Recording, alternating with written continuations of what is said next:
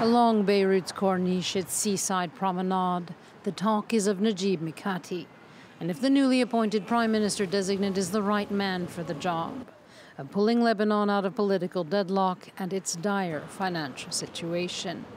For many Lebanese, the 65 year old billionaire, who's already been premier twice, is emblematic of crony politics and corruption. He's a thief. He's like all the others who have looted the country.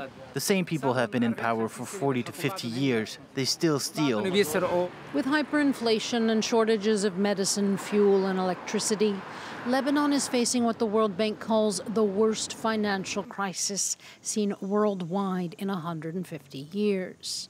And the telecommunications mogul is not, for many, the type of technocrat that's needed to enact sweeping reforms ones that the international community is requiring in exchange for financial support. We have tried the current politicians, and we won't make the same mistakes again. We want someone new, someone young, someone competent.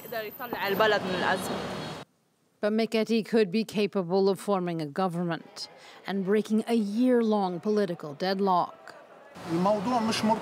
It's not tied to one person, it's tied to something larger.